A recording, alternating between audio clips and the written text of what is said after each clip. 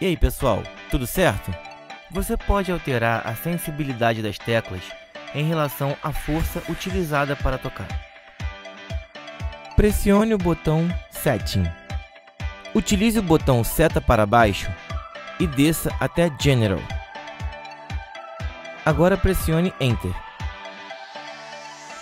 Utilize o botão de seta para baixo até chegar em Touch.